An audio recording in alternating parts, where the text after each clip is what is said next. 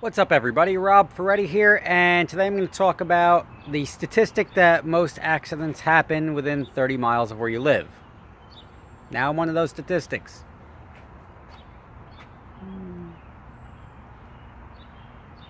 Look at that.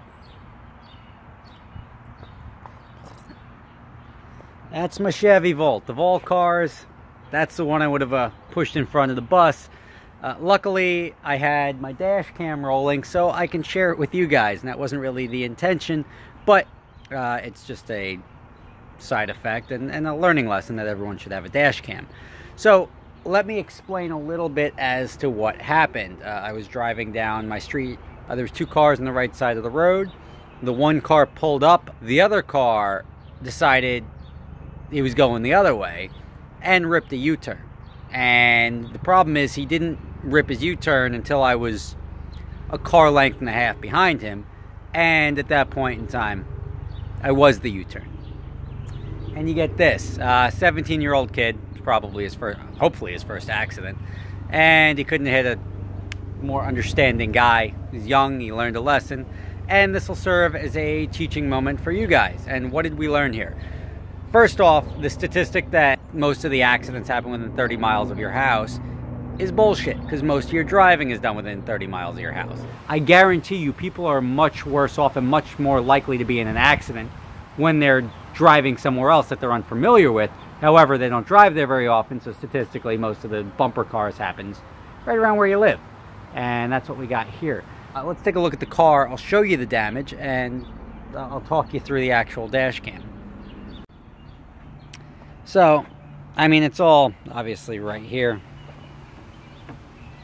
Uh, the washer fluid leaked out all over the road.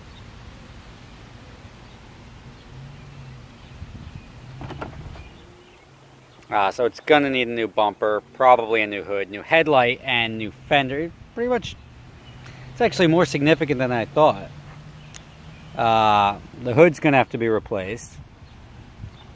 Fender's gonna have to be replaced. This is ripped, that's gonna have to be replaced.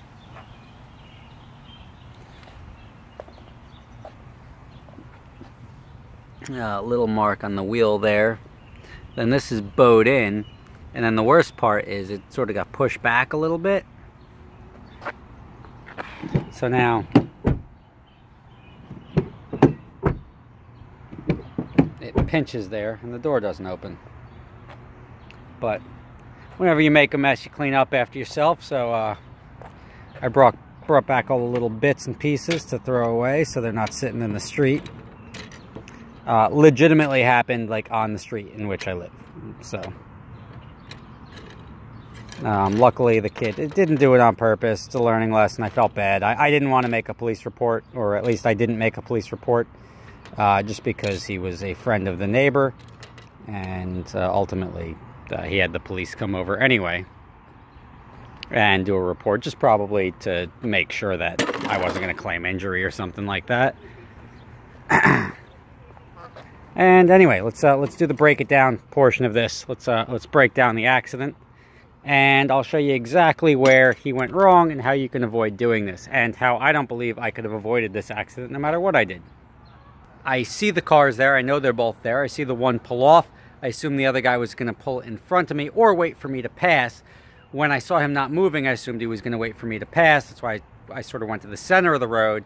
At that point in time, he just Evel to cross the road and committed to it. And now I pulled to the to the left to try to avoid him, thinking that all he'd have to do is see me at any point in time. He could hit the brakes, and we'd both be like, "Whew, that was close."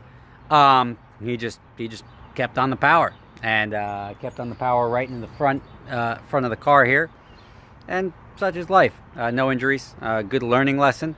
Now, this, if anything, reminds you why you should have a dash cam in your car. A dash cam, I wouldn't have had the footage of this otherwise.